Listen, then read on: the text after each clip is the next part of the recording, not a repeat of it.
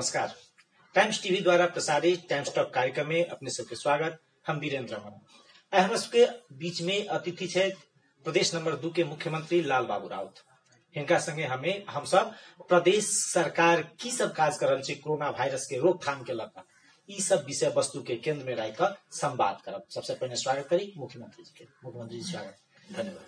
सबसे सबैभन्दा त यो बताइदिनुहोस् प्रदेश सरकार सरकारले कोरोना भाइरस रोकथामको लागि के के गर्दैछ प्रदेश सरकार सुरुदेखि नै यो कोरोना भाइरससँग अब लड्नको लागि प्रदेश सरकार आफ्ना स्रोत साधनबाट सुरुदेखि नै तयार भएर लागेको छ।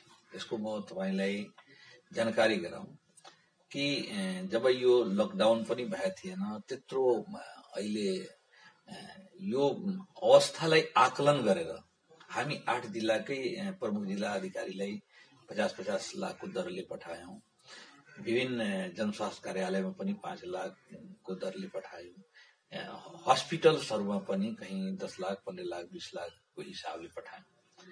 र त्यति मात्र होइन विभिन्न अस्पतालहरूमा जुन रहेका जुन पैसाहरू छन् मलाई लाग्छ कि कुनै पनि प्रदेशको अस्पताल छैन जहाँ पाँच करोड सात करोड यहाँ म हिजो मात्र अस्ति मात्र कुरा गर्दाखेरि यहाँ पनि बाइस करोड गइसकेको छ जनकपुरमा।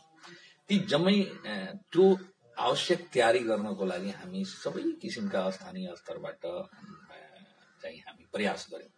त्यति मात्र होइन आवश्यकता अनुसार विभिन्न अस्पतालहरूमा हामीलाई चाहिने क्वारेन्टाइन अब क्वारेन्टाइनको पनि कहीँ यदि उसको चाहिँ अब संरचना छ भने क्वारेन्टाइन बनाउने बनाउने प्रयास गर्छौँ त्यति मात्र होइन अब अस्पतालहरूमा आइसोलेसन अलिकता सस्पेक्टेडहरूलाई त तपाईँ आइसोलेसनमा राख्नुपर्छ त्यो आइसोलेसनमा समेत हामी उसको चाहिँ राख्नुको लागि पनि हामी तयारी गर्यौँ र म तपाईँलाई जानकारी गराउँ र हामी यस किसिमले विभिन्न स्थानीय तह निकायहरूसँग एउटा समन्वय गरेर विभिन्न स्थानीय प्रशासनसँग पनि समन्वय गरेर विभिन्न पालिकाहरूमा पनि क्वारेन्टाइन जुन चाहिँ प्रिलिमिनरी स्टेजमा हामी बाहिरबाट आउने मान्छेहरूलाई त्यसलाई अब केही समयको लागि त्यसमा प्रतीक्षा गर्नको लागि भोलिका दिनमा केही अब लक्षणहरू देखिएपछि उसलाई अन्यत्र अब अब आइसोलेसनमा लग्नको लागि पहिले त स्टेप तपाईँको त क्वारेन्टाइन नै हो।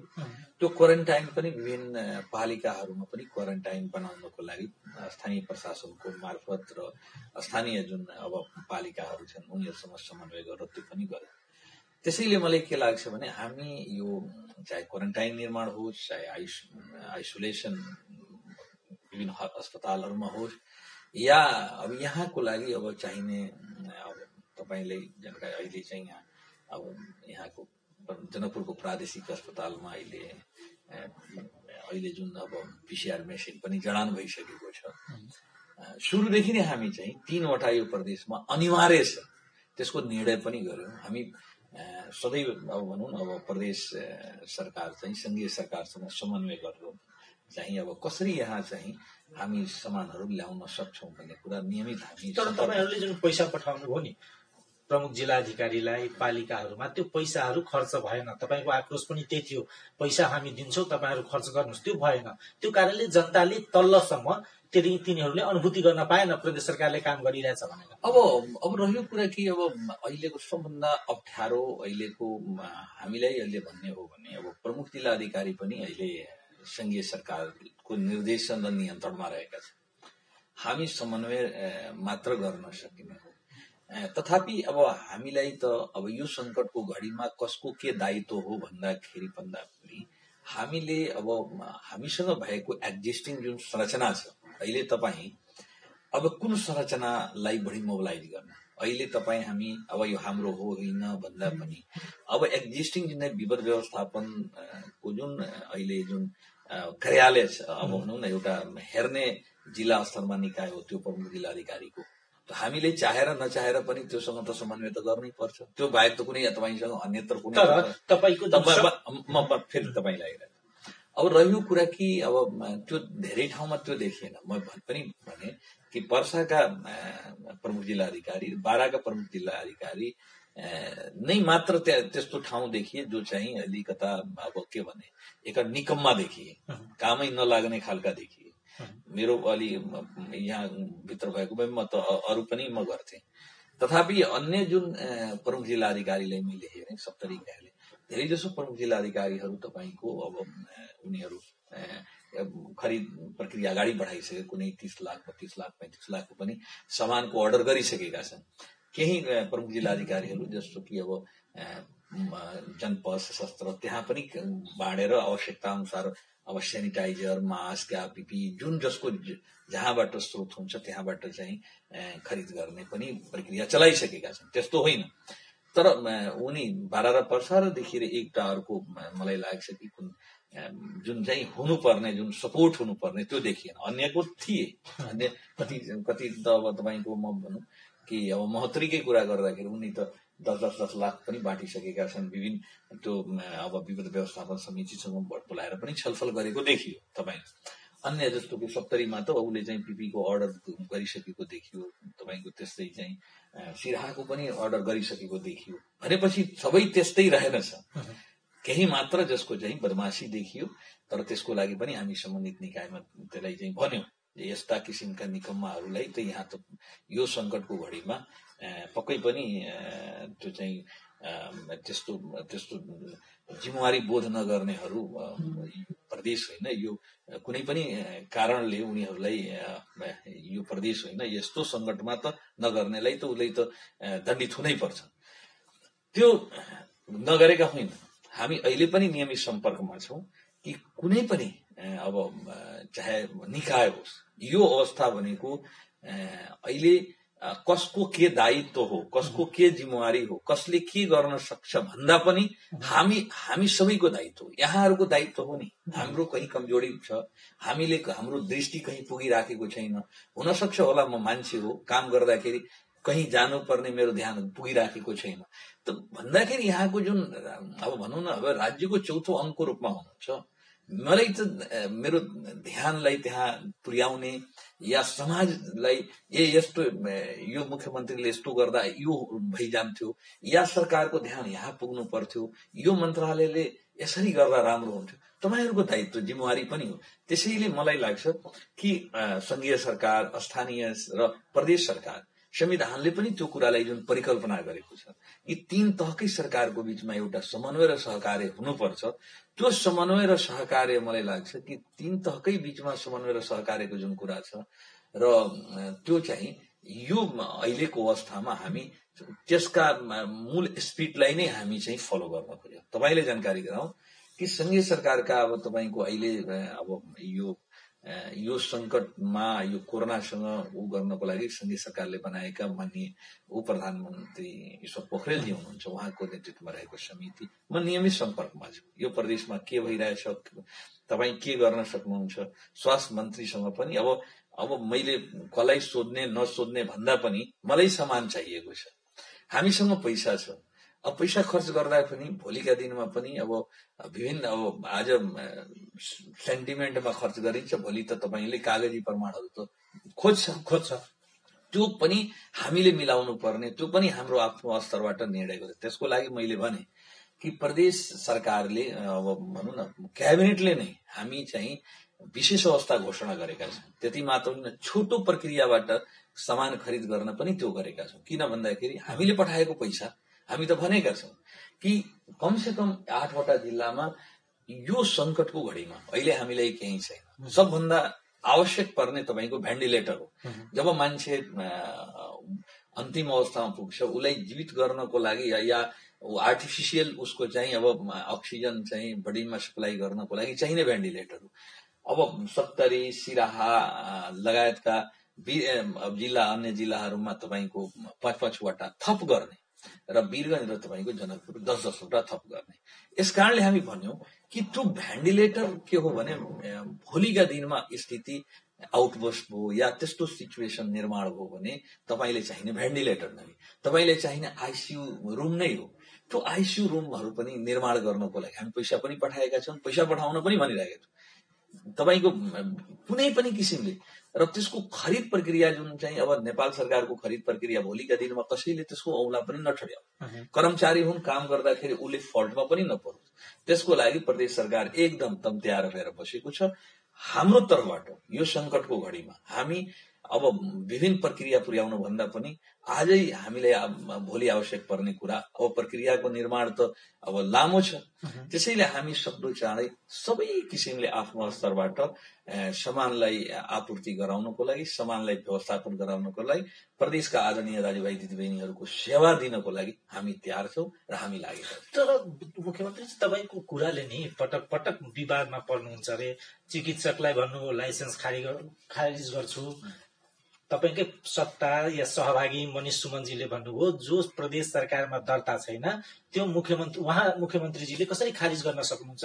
यो वहियात कुरा गर्नुहुन्छ तपाईँ कुराले या- अब- विवादमा पर्नुहुन्छ। नेगेटिभ बाहेक पहिले पोजिटिभ सोचेका छन् जो जसको नाम लिनुहुन्छ। म नाम पनि लिँदैन। जसको नेगेटिभ आजभन्दा त पोजिटिभ त कहिले सोचेकै छैन। तपाईँलाई म भन्छु म तपाईँलाई यो चेयरमा बसाएर म प्रश्न गर्छु। कि तपाईँ वीरगंज के अरे बारा बाराको एकजना व्यक्ति। ऊ एउटा तपाईँको बाराकै एउटा हस्पिटलमा जान्छ। उसलाई ज्ञान छ कि छैन त्यो सोध्ने व्यक्तिले अब खालि नेगेटिभ आयो केही सोध्दैन त्यसैले मैले भने उसले ज्ञान त हुनुपर्छ नि। जो केही व्यक्ति कसैले जिम्मेवारीका साथ बोल्छ भने उसको त कमसे कम तपाईँलाई थाहा हुन्छ। ऊ कलैयामा हेराए।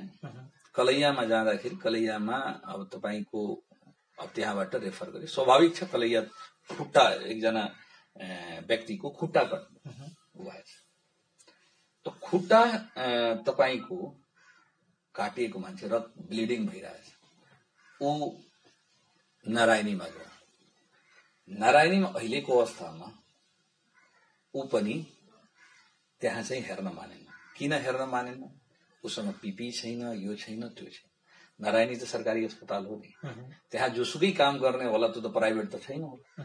नम्बर एक दोस्रो कुरा के छ भने तपाईँ यो राज्यभित्र हुनुहुन्छ। यो संकटको घडीमा तपाईँलाई चाहे निजी क्लिनिक के अरे के भन्छन् तपाईँको नर्सिङ होस् होम होस् चाहे निजी मेडिकल कलेजेस हुन् सबै त्यो दायित्वभित्र पर्छन्। तपाईँ यो होइन कि म सरकारी र निजी नै छुट्याउँ। म म म चाहिँ त्यसबाट उम्किन्छु पन्छिन्छु भन्ने कुरा होइन। त्यो व्यक्ति फेरि तपाईँको नेसनल मेडिकल कलेजमा जान्छ। सस्पेक्टेड टु कोरोना भन्छ। खुट्टा काटिया सस्पेक्टेड टु कोरोना भनेर रेफर गर्छ। त्यो व्यक्ति हेटौडासम्म गएर मर्छ। तपाईँ के भन्नुहुन्छ? यसरी सरकारका प्रमुख हुनुहुन्छ भने के त्यो मेडिकल डक्टर जो चाहिँ गरेका छन् त्यसलाई कारवाही गर्ने कि तपाईँ तपाईँ के अरे? के भन्छन्? तपाईँ उसलाई उसलाई कारवाही गर्ने कि पुरस्कृत गर्ने तपाईँ? कोरोना सस्पेक्टेड छ भने you need PPE other equipment जहाँ खुट्टा तपाईँको कटेको छ ब्लिडिङ भइराखेको छ अनि सस्पेक्टेड टु कोरोना भनेर रेफर गर्न पाइन्छ। यो मुलुकको कानून यो मुलुकको कानूनबाट नै चाहे मेडिकल कलेज बनेको होस् चाहे नारायण क्षेत्रीय अस्पताल बनेको होस् चाहे कलैयाको कुनै अस्पताल बनेको होस् छ नि? त्यो डक्टरलाई त्यो त क्रिमिनल केस उसको एगेन्स्टमा फाइल गर्नुपर्ने हो नि। उसको कारणले एकजना सत्ताइस अठाइस वर्षको युवा चाहिँ मर्छन्। उसले के तपाईँ सरकार प्रमुख भएर जो सधैँ नेगेटिभ कुरा गर्छन् त्यसको त म चर्चै गर्न चाहन्न। तपाईँ होइन होइन तपाईँ तपाईँ- अलिकता त्यस्ता व्यक्तिलाई चर्चा गर्नुहोस् मसँग जो चाहिँ सकारात्मक कहिले धारणा राख्छ त्यसैले मैले भने। र म आज पनि भन्छु त्यस्ता व्यवहार देखाउनेहरूप्रति यदि कुनै सरकार रहेछ भने यदि त्यो सरकार त्यस्ता व्यक्ति जो अन्य कारणले मर्छ कोरोना होस् चाहे तपाईँलाई सस्पेक्टेड कुनै के भन्छन् त्यस्ता पेसेन्ट रहेछन् भने यस तपाईँको ज्यान तपाईँको जीवन रक्षाको लागि प्रदेश सरकार त्यसबाट अनभिज्ञ छ भने त्यो मूर्खता हो।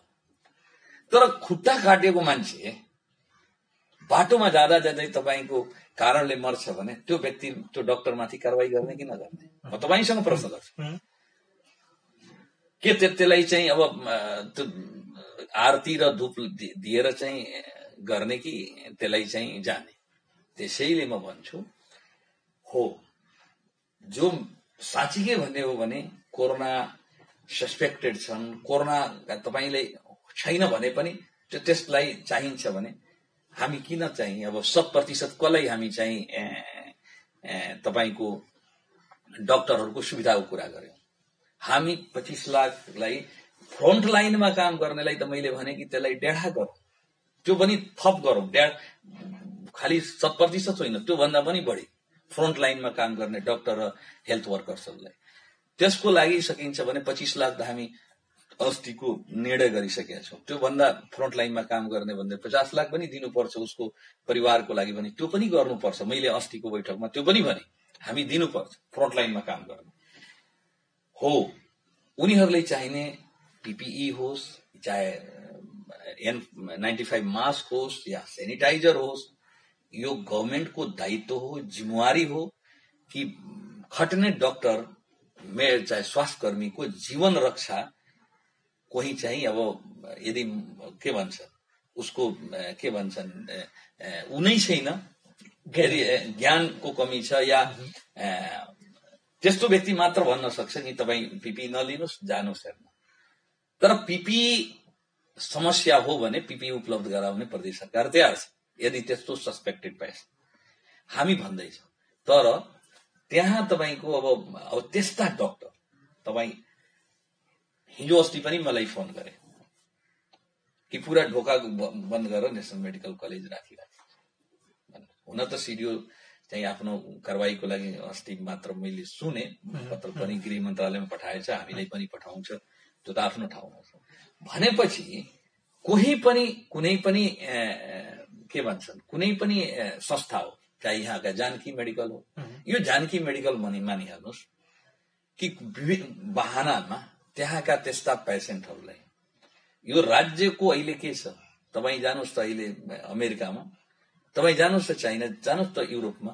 कुनै पनि डक्टर नर्सेस चाहिँ त्यो छुट्टीमा बस्न सक्दैन। त्यस्तो लिएर अहिलेको अवस्थामा किन लिन सक्दैन भने उसलाई सबभन्दा पहिले अहिले स्टेटको आवश्यकता छ। हो त्यसलाई चाहिने सुविधा त्यसलाई चाहिने आवश्यक इक्विपमेन्ट्स दिनु भनेको त्यो सरकारको दायित्व जिम्मेवारी हो। यदि सरकार भन्छ कि तपाईँलाई हामी दिँदैनौँ तपाईँ जानुहोस् भनेको यस्तो भनेको सुसाइडल कसैले पनि भन्दैन र भन्दा नैतिकता पनि छैन। तर अस्पतालहरूमा त समस्या छ नि त। चिकित्सकहरूले कसरी बिना अब त्यत्रो रिक्स लिएर गएर कहाँ? तपाईँले हर हर अस्पतालमा तपाईँको अब अहिले सामान उपलब्ध छ नि। कुन अस्पतालमा तपाईँ भन्नु? तपाईँहरूले गठन गरेको विज्ञ टोलीले पनि सिफारिस गरेको छ। अस्पताल गुणस्तर युक्त छैन। रातोरात त गुणस्तर भइहाल्छ यहाँ। ओभरनाइट ओभरनाइटमा गुणस्तर भइहाल्छ तपाईँ पहिले भन्दा त बेटर छ नि। अहिलेसम्म त तपाईँ हेरिराख्नु भएछ नि जनकपुर त तपाईँ दुई वर्ष पहिले पनि हेरिराख्नु भएछ अहिले पनि हेरिराख्नु भएछ। यो तपाईँ अहिले र पहि- पहिले भन्दा अवश्य पनि फरक पाउनुहुन्छ। म जाँदाखेरि म आफू फिल गरेको छु नि। तपाईँ अहिले र पहिले भन्दा अहिले तपाईँ अवश्य पनि फरक पाउनुहुन्छ।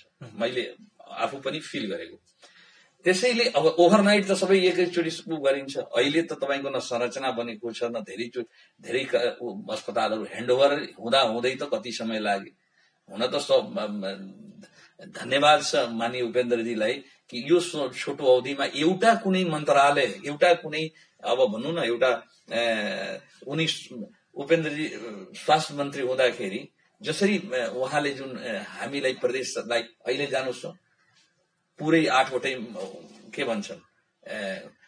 जिल्लामा जुन स्वास्थ्य कार्यालयदेखि लिएर जुन स्वास्थ्य कर्मी ह्यान्डओभर भएछ त्यो कुनै पनि मन्त्रालय कुनै पनि अब अन्य मन्त्रालयको एउटा पनि बताइदिनुहोस्। शिक्षाको जिल्ला शिक्षा अधिकारी पनि ह्यान्डओभर गरेका छैन। स्कुलको कुरा छोड। त त्यो भन्नुहोस् त त्यो आइसकेपछि हामी आफ्नो प्रयासले त्यसमा चाहिँ त्यहाँका भौतिक पूर्वाधारदेखि लिएर अहिले तपाईँ एचडिआईमा किन यो प्रदेश सबभन्दा तल छ। किन तल छ भने आजसम्म संघीय सरकार त यहाँको अस्पताल यहाँको शिक्षा यहाँको जुन किसिमका जुन हेर्नुपर्ने त्यो त पुरै आग्रह पूर्वाग्रहले नै यसलाई चाहिँ चाहिँ समाप्त गरेको थियो नि। अहिले जुन हामी प्राप्त गरेका छौँ के यो हाम्रो कारणले यो यस्तो बिग्रिया थियो र?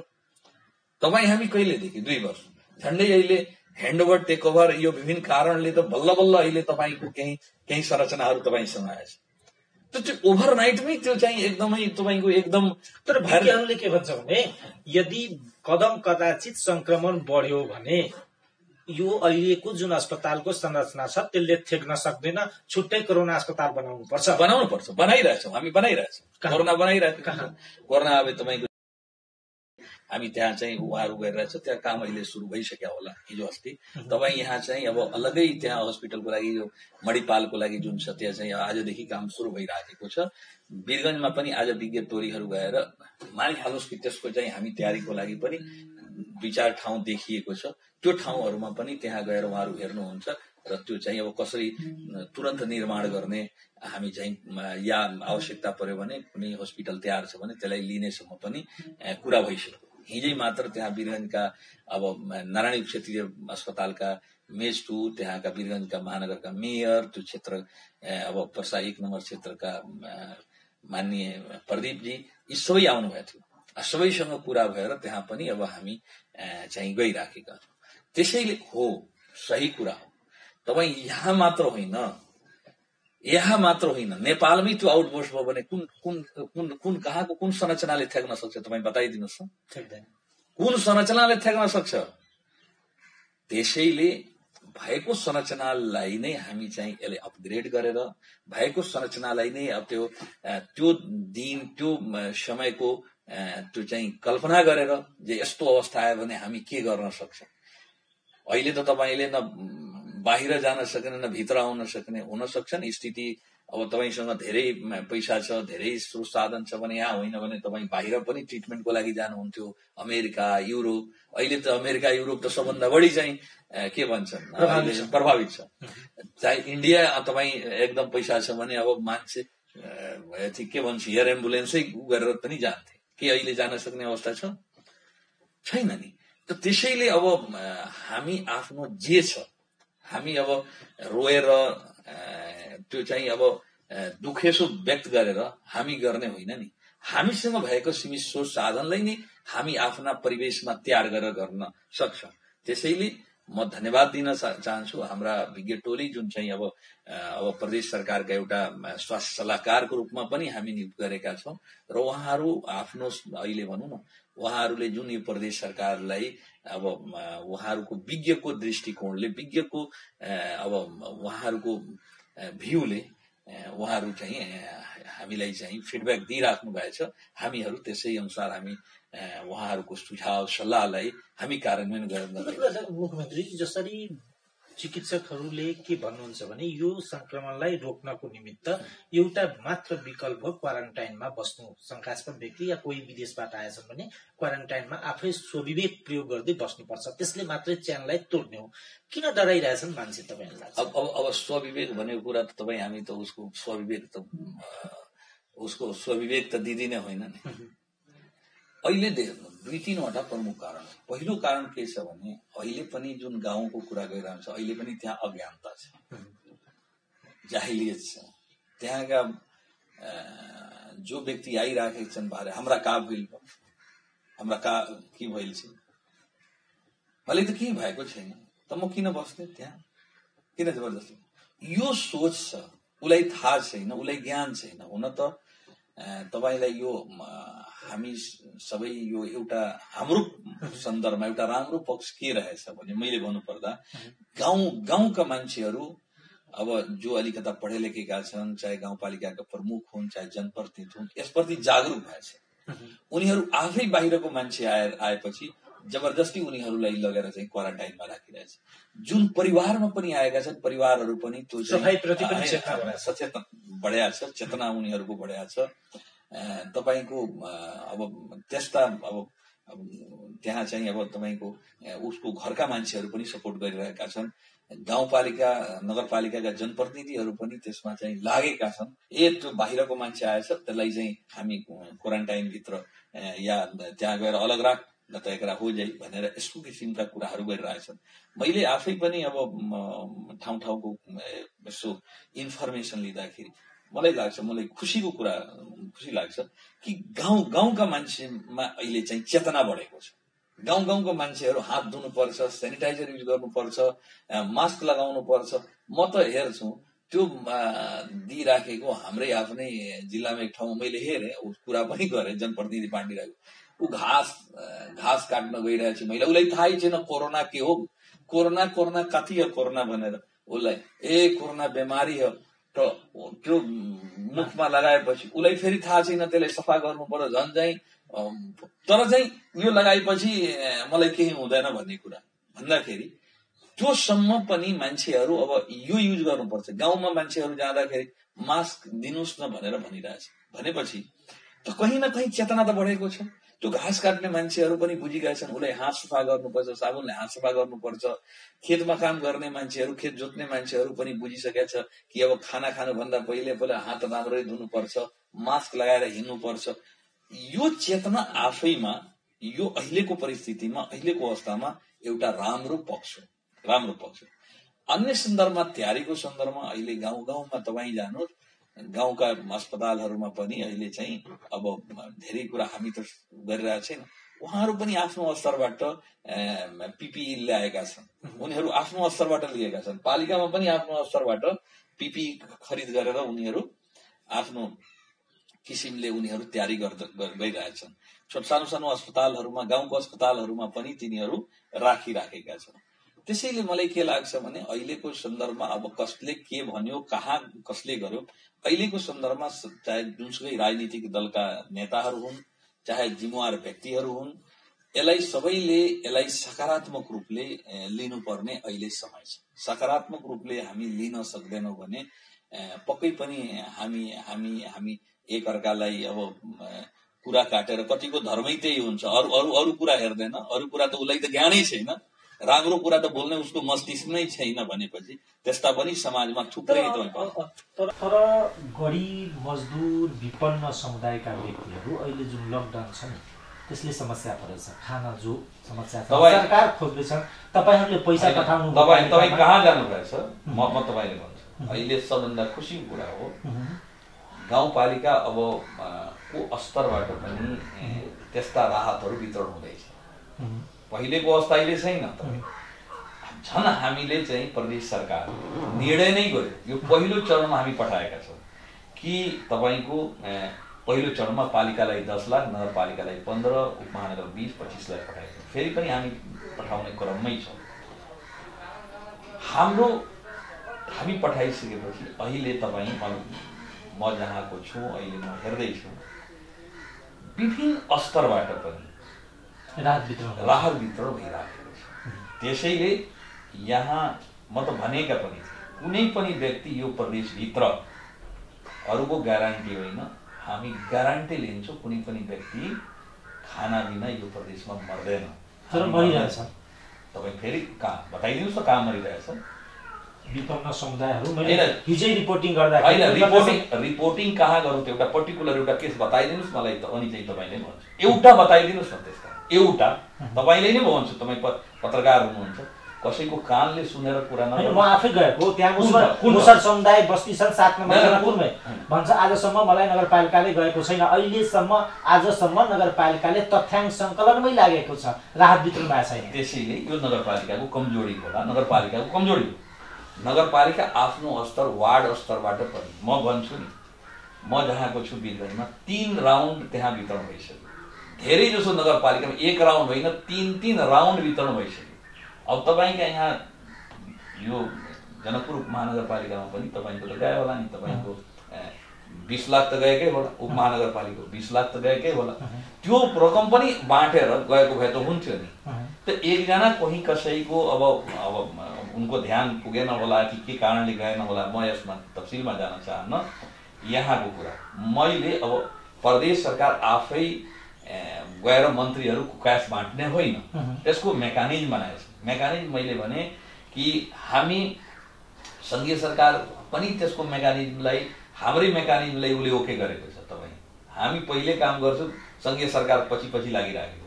जुनसुकै हामी निर्णय गरेर अस्ति हामी बैठक बसेको तपाईँको प्रधान के अरे मुख्यमन्त्रीको संयोजकत्व टोली त्योभन्दा हामी एक हप्ता पहिले म चाहिँ मुख्यमन्त्रीको निर्देशन समिति बनाइसकेको छु। उसले एउटा प्रमुख सचिवको संयोजकत्वमा हामी पहिले नै बनाइसक्यो सङ्घीय सरकार त अहिले सोचेको छ सबै दलका नेताहरूले बोलाएर छलफल पहिले नै गरिसकेका छ उनीहरूभन्दा पहिले एक स्टेप अगाडि छ। म तपाईँले भनौँ कि हामीले वडा स्तरमा वडा अध्यक्षको तपाईँको संयोजकत्वमा किनभने वडा अध्यक्षलाई नै थाहा छ को चाहिँ मजदुर हो। लेबर हो। मेयरलाई पनि थाहा हुँदैन। हामीले थाहा हुने त कुरै होइन। म त अब कुन कुन वार्डमा म चाहिँ गएर चाहिँ अब अब त्यस्तो म बाँट्न सक्छु। हुनसक्छ कि मेरो पनि चाहना होला कि म बाँट्न सक्छु किनभने गरिबी त चारैतिर छ। तर पनि म चाहिँ अब त्यस्तो बाँट्न थाल्यो भने त्यो त्यो राइट ट्र्याक भएन। त्यसैले हामी के गरेका छौँ कि वडाध्यक्षको संयोजकत्वमा। चारवटा कमसेकम राजनीतिक दल जो प्रमुख राजनीतिक दल छन् तिनीहरूको प्रतिनिधि त्यसै पनि त समावेशी हो। एक नेपाली सेना नेपाल प्रहरी र सशस्त्र प्रहरी समेतको त्यहाँको वडाको सचिव भनेको एउटा टिम छ। तपाईँ हाम्रो पैसा छ नगरपालिकाले त्यहाँबाट लागत कम नेपाली सेना नेपाल प्रहरी र सशस्त्र प्रहरी र त्यो पार्टी प्रतिनिधिहरू नै को कोलाई दिने यदि यो ट्र्याक भन्दा बाहिर गएर कसैले पैसा खर्च गर्छ भने त्यो अनियमितता हुन्छ। उरुजु हुन्छ बेरुजु हुन्छ। त बेरुजु अनियमितता गर्न। र अर्कोचोटि फेरि पनि जान गाह्रो छ। त्यसको चाहिँ अब तपाईँको अब त्यो मोनिटरिङ गर्ने। मोनिटरिङ गर्ने जिम्मा प्रदेशका अब तपाईँको मान्य प्रदेश सभा सदस्यहरूको छ। मोनिटरिङ गर्ने जिम्मा नेपाल सरकारका सरी प्रदेश सरकारका मन्त्रीहरूको छ। हाम्रो तपाईँ सबैको छ। तपाईँ मिडिया कर्मीहरूको पनि छ। त हामी त पैसा न पठाउने हो बाबा। भने हामी मर्न दिँदैनौँ। काम गर्ने मेकानिजम कहाँ छ? मेकानिक मेकानिक अब तपाईँ मैले नि पैसा बोकेर हामी नै सरकारका मन्त्री चाहिँ अब निर्णय गरेर निकालेर जान्छु भने तपाईँ नै भोलि भन्नुहुन्छ यो के गर्न खोज्यो? सिस्टम छ कि छैन? कुन पाराले यो चल्न खोज्यो? तपाईँ त काम गर्ने एउटा मेसेज तपाईँहरूको काम हो दायित्व हो। त्यो वडामा जानुहोस् किन त्यो भइराखेको छैन? किन गरिराखेको छैन? कसको बदमासी हो? किन चाहिँ नगर नगरपालिकाले पैसा पठाए पठाएन? प्रदेश सरकारले त उहिले पठाइसक्यो अहिले एक डेढ हप्ताभन्दा पहिले पठाइसक्यो। त्यो पैसा खर्च भयो कि भएन? फेरि प्रदेश सरकार तयार छ पैसा पठाउनको लागि। त्यो पैसा आएपछि पो हामी पठाउने नि? त्यो पैसाको त हामी चाहिँ त्यो त्यस किसिमको हामी खर्च गर्ने एउटा मेकानिजम छ नि। हामी त आफै त गर्न सक्दैनौँ। तपाईँ भन्नुहोस् अब सबै मै गर्न सक्छु भने त किन सरकार चाहियो किन मेकानिजम चाहियो किन कार्यालय चाहियो किन चाहियो? यो तपाईँहरूको दायित्व हो। म भनेको छु मैले मेयर साहेबहरूलाई जम्मै भनेको छु। यो प्रदेशभित्र प्रदेश सरकार पुरै एकदम हिम्मत र पुरै चाहिँ स्रोत साधनले लागेको छ।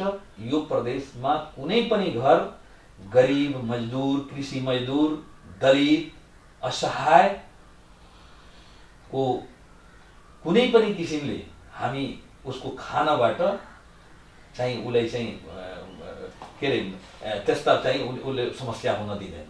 अन्त्यमा प्रदेशवासीलाई यो कोरोना संक्रमण रोक्नको निमित्त या च्यान तोड्नको निमित्त के सन्देश दिन म चाहनुहुन्छ जान्छु यो महा महामारी हो यो विश्वव्यापी महामारी हो।